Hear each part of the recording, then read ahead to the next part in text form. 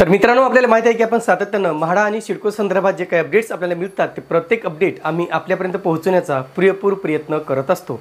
आणि आपल्याला माहिती आहे की सध्या सगळ्याच अर्जदारांच्या नजरा ह्या मुंबईच्या म्हाडाच्या लॉटरीकडे लागलेल्या आहेत. की नेमकं मुंबईची म्हाडाची लॉटरी कधी येणार आहे? नेमकं त्या ठिकाणी घरे किती असणार आहेत? घरे कुठे कुठे असणार आहेत? अंदाजित किमती काय असणार आहेत? या संदर्भात अनेक प्रश्न आपल्याला वारंवार विचारले जात आहेत. आणि अनेक अर्जदार या म्हाडाच्या मुंबई लॉटरीकडे चातकाप्रमाणे डोळे लावून बसलेले आहेत. आणि आज आपण नेमकं अपकमिंग मुंबईच्या लॉटरी संदर्भात अतिशय महत्त्वाची माहिती पाहणार आहोत. नमस्कार मित्रांनो. कसे आहात सगळे? मजेत ना? स्वागत आहे आपल्या सर्वांचं या यूट्यूब चॅनलवरती ज्याचं नाव आहे आर के प्रॉपर्टी न्यूज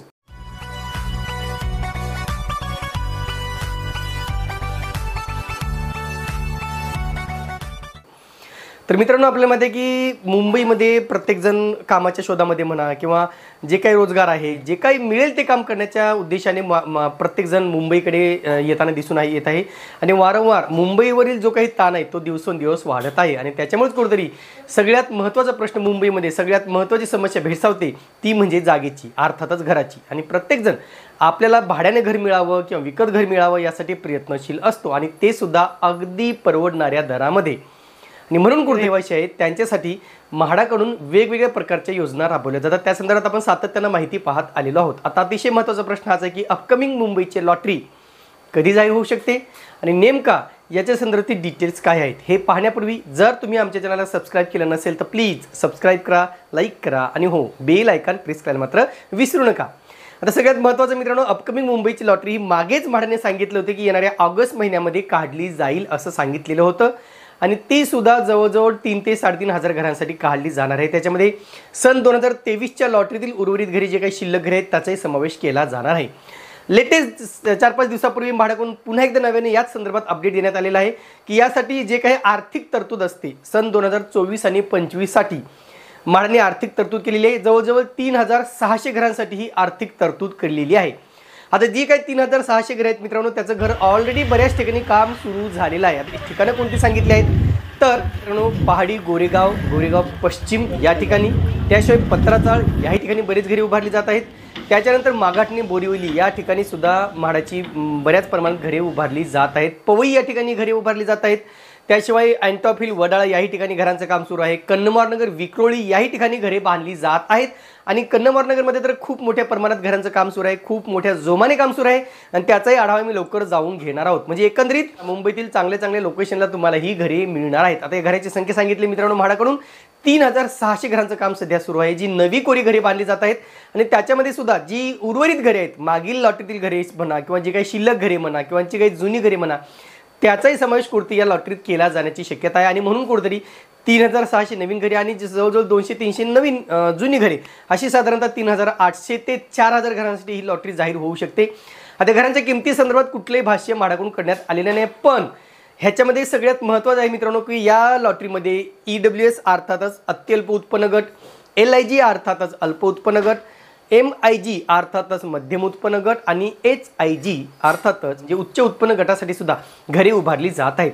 उच्च उत्पन्न गटासाठी टू बी एच के आणि थ्री बी एच केचे घरे आहेत मित्रांनो ज्यांची costing two B H K costing सध्या ओरली बोलली जाते पंच्याऐंशी ते नव्वद लाखाच्या दरम्यान बोलली जाते. आणि थ्री बी एच केची किंमत ही साधारणतः सव्वा लाख सव्वा कोटीच्या दरम्यान साधारणतः सांगितली जात आहे.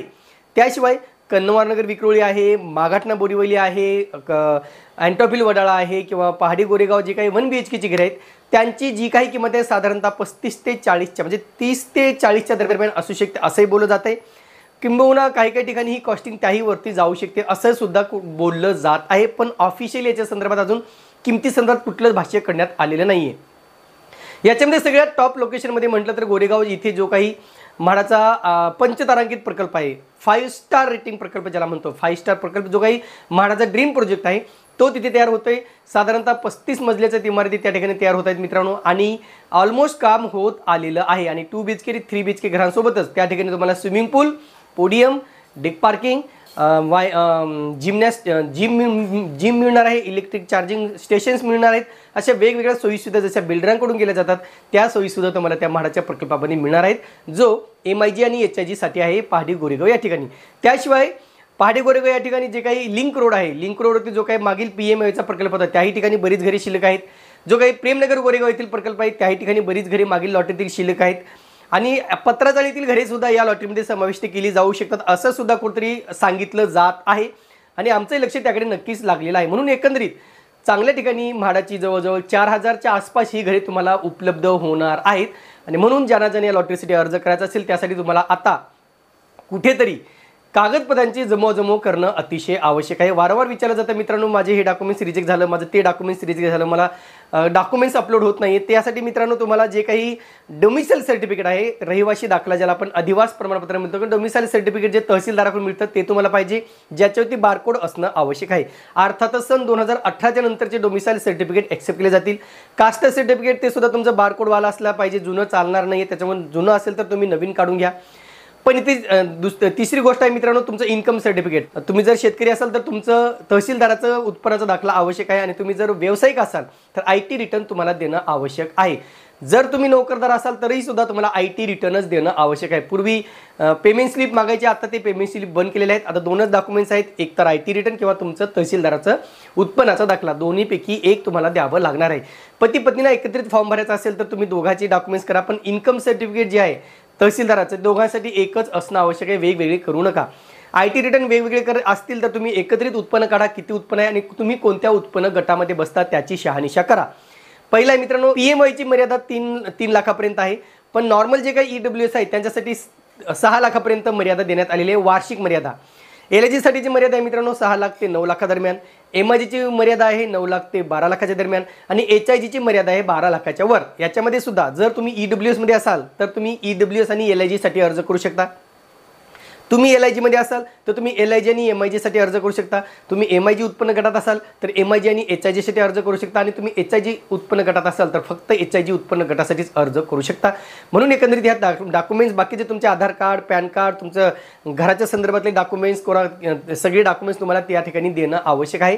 आणि याची कुठतरी तयारी करून ठेवा. तुमच्या नावामध्ये मिस्टेक असेल स्पेलिंग मिस्टेक असेल त्याचे करेक्शन्स करून ठेवा. आफ्टर मॅरेज असेल तुमचं जे काही नावात चेंज बदल झाला असेल त्याचे सर्टिफिकेट ठेवा. विवाह नोंदणी प्रमाणपत्र तुम्ही जवळ ठेवा आणि सगळे करेक्शन करूनच तुम्ही आता या म्हाडाच्या तयारीसाठी लागा. अपेक्षा करूया मित्रांनो लवकरात लवकरची लॉटरी जाहीर हो. अपेक्षा अशी आहे की असा माझा अंदाज आहे की ऑगस्टमध्ये जरी बोललं जात असलं तरी आतापर्यंत म्हाडाचा इतिहास आहे की ज्या ज्या वेळेस ते डेडला सांगितलं जातं की त्याच दिवशी ते त्याच वेळेस जाहीर केली जात नाही किंबहुना ऑगस्ट किंवा सप्टेंबरच्या दरम्यान सुद्धा ही लॉटरी जाऊ शकते. पण नक्कीच दोन महिन्यामध्येच या लॉटरीचा अंदाज आहे. म्हाडा म्हाडाकडून तर ऑगस्टमध्येच काढू असं वारंवार सांगितलं जात आहेत. पाहूया नेमकं या लॉटरीची घोषणा. कधीपर्यंत होऊ शकते. तुर्तास मित्रांनो इथेच थांबतो. पुन्हा भेटूया एका नवीन व्हिडिओसह. तोपर्यंत आपली रजा घेतो. धन्यवाद.